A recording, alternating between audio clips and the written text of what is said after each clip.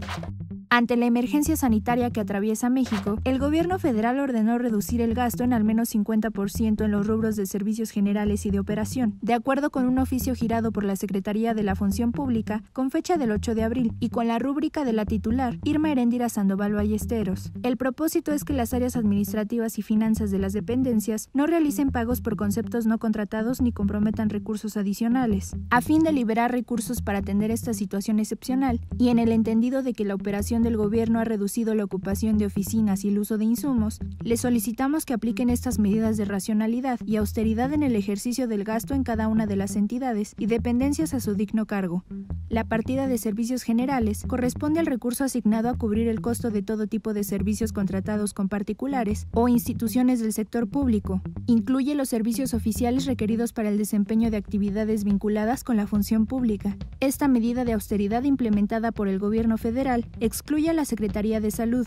a las Fuerzas Armadas y Guardia Nacional, que están realizando actividades prioritarias para hacer frente a la emergencia sanitaria o dando continuidad a los proyectos prioritarios de la Administración. En caso de no acatarse la instrucción presidencial, se advierte que el sector público incurriría en una falta administrativa sancionable por la Ley General de Responsabilidades Administrativas y la Ley Federal de Austeridad Republicana.